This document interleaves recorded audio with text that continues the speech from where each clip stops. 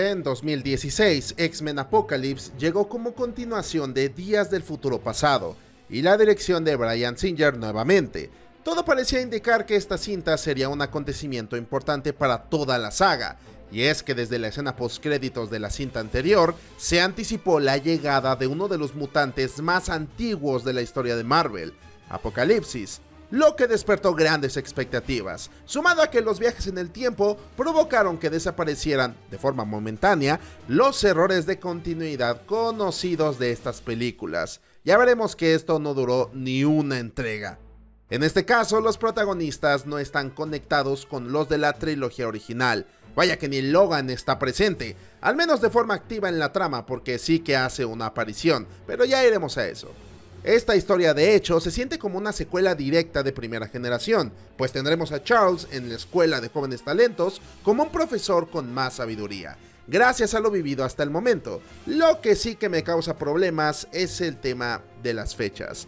A ver, para quien no lo sepa, cada historia de estas precuelas tiene 10 años de diferencia una de la otra. Primera generación se desarrolla en los 60s, Días del futuro pasado en los 70s, y esta en los 80s.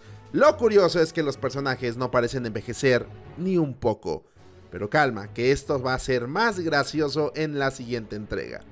Todo arranca con una secuencia donde vemos a un mutante muy poderoso llamado Ensabanur, a quien sus seguidores le organizan un ritual donde pasa su ser al de un mutante más joven y de paso adquiere sus habilidades. Esto ya por mero concepto lo convierte en una de las amenazas con las ideas más interesantes que pudieron tener en estas películas, pero te aviso de una vez que no se aprovechó para nada.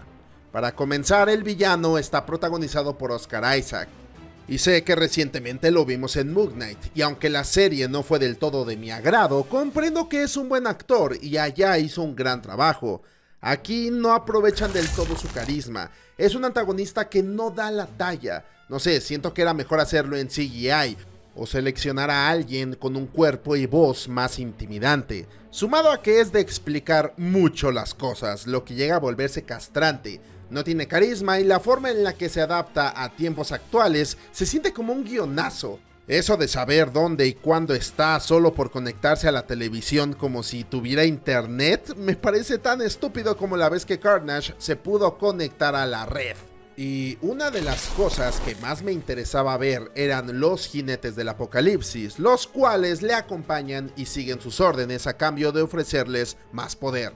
Pero es que ni estos logran sorprender con su carisma y regresamos a los errores de continuidad, pues esta cinta se sitúa en los 80s y uno de estos jinetes es Angel, mismo que salió en la tercera película, que contaba con un flashback que nos dejaba claro que para los acontecimientos de esta cinta ni siquiera habría nacido. Comprendo que es uno de los jinetes más icónicos de los cómics, pero no manches.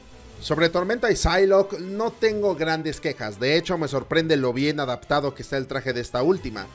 La cosa con Magneto está dura, y nunca mejor dicho. Haciendo honor a su título de pendejo, llega esta película a hacer, claro que sí, pendejadas. Eh, ok, en esta película, solo por esta, le doy el beneficio de la duda. De hecho es bastante trágico, pues el tipo estaba retirado y hasta formó una familia, trabajando de forma discreta en una fábrica. Pero un día sucede un accidente con uno de sus compañeros y Eric lo rescata de buena fe. Desgraciadamente vivimos en un mundo donde aunque conozcas desde hace años a las personas, incluso si te salvan la vida, hay que denunciar por el prejuicio de ser diferentes. Alguien de los trabajadores lo delata y provoca que las autoridades asesinen accidentalmente a su hija y esposa, lo cual es más que motivo suficiente para que éste estalle nuevamente. Lo que sí me parece algo tonto es que la muerte de ambas por una flecha me pareció algo anticlimático, pero va, juega por sentir que el personaje tiene un motivo para ser malo otra vez. Más pronto que tarde llega Apocalypse a reclutarlo y este, como ya no tiene nada que perder, se une al egipcio ya que esperan destruir a la humanidad. Y para convencerlo le dice que baje la mano y siente el fierro. No es albur, es en serio. Volviendo con los X-Men. Charles recluta a Jean Grey, Cyclops y un joven Nightcrawler. Y por fin tenemos rastro de júbilo, que desgraciadamente no hace nada en toda la historia. Lo curioso es que no hacen ni un comentario de Logan, quien fue el que le reveló los nombres de todos estos personajes para que los reuniera como los X-Men. Como sea, por cuestiones de la vida, Mystic ahora es buena. Regresa y se une al equipo, convirtiéndose en uno de los personajes más invasivos y molestos de cualquier cinta de superhéroes. Y está bien que en la anterior tuvo un arco muy interesante, pero es que aquí ya se siente como relleno. Total, que sin darle vueltas al asunto, Apocalipsis quiere el poder de Charles para controlar las mentes del mundo, por lo que lo secuestran, estallan la mansión y llega Quicksilver porque resulta que le entró curiosidad por conocer a su padre, Magneto entre paréntesis tras 10 años, cierro paréntesis, por ende llega en el punto perfecto para rescatar a todos con Sweet Dreams de fondo. Y esperen que las subtramas aún no terminan, porque aparece William Stryker, el villano de la segunda película para arrestar a los X-Men. ¿Por qué? ¿A quién le importa? Lo cierto es que todo esto fue para mostrarnos la mejor secuencia de acción que Wolverine tuvo en la historia del cine. Y eso que está censurada. Como te habrás dado cuenta, la cantidad de subtramas es ridícula. Y al final, todo sale bien. Magneto se hace bueno otra vez, matan a Angel de forma random, ni me acuerdo lo que le pasa a Psylocke. Y ojo con esto, porque como se vio desde X-Men 3, aquí se replantea que Jean tiene dentro la Fuerza Fénix. Y solo ese poder es capaz de destruir Apocalipsis. Debo decir que este momento me gusta mucho, aunque no se explique muchísimo, sabemos que Charles vio la mente de Logan en días del futuro pasado, y vio lo que sucedería si trataba de contener a Jean. Por lo que ver que aquí le permitió desatarse significa que sí aprendió algo de esa experiencia. Pero no canta en victoria porque todavía nos falta la última película. X-Men Apocalipsis, con todos los problemas que tiene, me parece una cinta entretenida, pero que no intenta nada interesante. Es raro viniendo del mismo director que se encargó de darle vitalidad a estas cintas. Y el villano es muy cutre, no es intimidante y sé que no soy el único que al verlo piensa en ese villano morado de la vieja película de los Power Rangers. Antes teníamos conflictos por la moral de Mystic, o que Xavier supere todo lo que perdió, o que Logan deba saber cómo enseñarle a aquel que le salvó la vida en el pasado cómo puede ser un X-Men pero esta en cambio no logra que conectemos con nadie de esa forma. Quizá un poco con Magneto, pero es que se limita a hacer pendejadas al punto de que ya estamos tan acostumbrados que no sorprende para nada, y esto comienza a cansar mucho. Con decir que la aparición de Wolverine se siente gratuita en todos los sentidos. El nuevo equipo, eso sí, logra llenar los zapatos sin problemas, y aunque no son tan interesantes, prefiero mil veces ver a este Cyclops que el desperdicio de la trilogía original. Además, Jean Grey se siente más orgánica con esta adaptación de Sophie Turner, lo cual es un extra bienvenido. Al final, esta película buscó ser más grande, pero se estancó en su intento por abarcar mucho en poco tiempo. Ah, sí, y por fin explican por qué el profesor se queda calvo. Vaya detalle. Pero espérate que no hemos terminado. El final de la saga de mutantes llegó con X-Men Dark Phoenix, cinta para la que Brian Singer no volvió el señor ya andaba más funado que nunca y en ese entonces las denuncias de acoso sexual pegaban muy feo, por lo que el papel de director llegó a manos de Simon Kinberg, quien escribió Días del Futuro Pasado y produjo Logan. ¡Ah, qué buena finta, ¿verdad? Pues también armó el guion de Apocalypse y de Fantastic. No sé chicos, igual y soy muy prejuicioso, no lo sé. Veamos qué tal está la primera película que dirige este buen hombre. Para cerrar esta franquicia no podían irse invictos. Iniciamos con una de las contradicciones más puercas y descaradas de todas estas películas. ¿Recuerdas que te dije cómo Jean usó el poder de Fénix que vive dentro de ella para aniquilar Apocalipsis? Bueno, aquí por algún motivo decidieron introducir el origen de esta entidad de los cómics. Parece que la chica no tuvo contacto con este poder hasta los noventas, donde en un viaje espacial el Fénix se une a ella para deschavetarla. Señores, a ver. Era muy sencillo decir que todo ese potencial vivió dentro de ella desde siempre y fue esta cosa la que procede a descontrolarla. Así no mandamos a la goma lo que ya se dijo una y también introducen algo que es parte de las historietas. Y eso no es todo, ya que de forma random, Mystic es la líder del equipo, que chingue su madre Cyclops al parecer.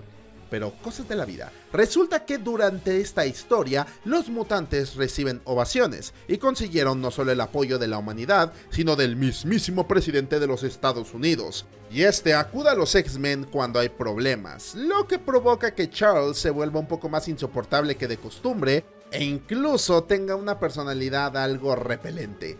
Y sí, tenemos a Magneto otra vez. Al final de la cinta pasada se vuelve a redimir y de nuevo vive en paz en una comunidad de mutantes, ayudando a quien pueda. Esto hasta que el guionazo hace lo suyo y se pone a hacer... Por favor, quiero que lo pienses. Tienes la palabra ahí. Sosténlo un momento, repite conmigo. Pendejadas. Decir que es repetitivo es poco. Fassbender en el papel le da vida a Magneto, pero es que el tipo ya no se ayuda a sí mismo. Total, que aunque parezca que la historia trata de que deben parar a Jean, porque está fuera de control o algo por el estilo, agárrate porque de la nada llegan unos extraterrestres cambiaformas que quieren al Fénix. Sí. De acuerdo con entrevistas al equipo encargado de toda la película, originalmente estos eran Scrolls, pero como sabemos, en 2017 Fox fue adquirida por Disney, cambiando por completo los planes ya que tenían pensado introducirlos en Capitana Marvel. Es más, la batalla final se reescribió y parece que el resultado no era ni remotamente parecido a lo que se entregó, lo que nos deja con un grupo de seres del espacio que, además de cambiar de forma, son invulnerables a las balas, cuando el guion así lo quiere y que sirven de obstáculo para tener una escena final de los héroes contra un ejército de villanos. Se supone que tienen una líder que jamás mueve la cara y con motivaciones muy tontas.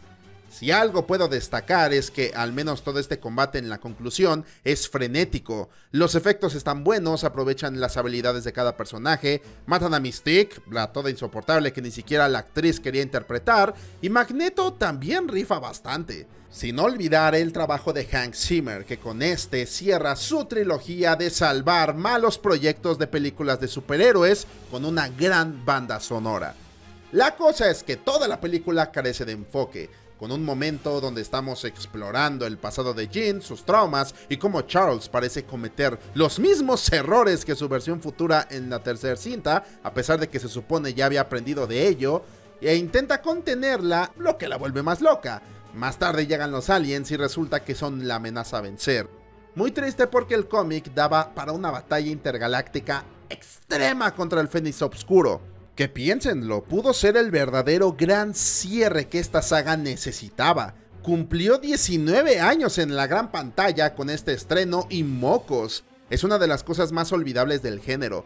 Prefiero fingir que todo terminó en Logan y ahí quedó. Y aguanta, tenemos otro problemón.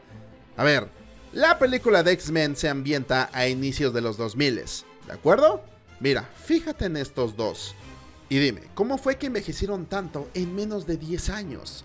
Vatos, es que está peor que el caso de Obi-Wan. Ni siquiera una mísera cana comprendería el salto temporal de la década hasta días del futuro pasado, pero es que desde Apocalypse ya no era necesario saltar tanto. Si acaso un lustro, pero no friegues que de 50 a 60 años haya tantos cambios en la cara.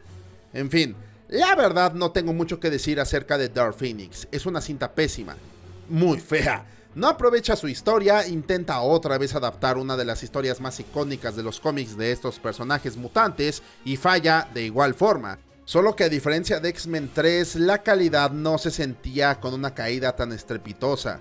Acá es muy distinto, a pesar de tener una buena batalla final, es una lástima ver que el legado de toda una franquicia tiene una conclusión con un final agridulce.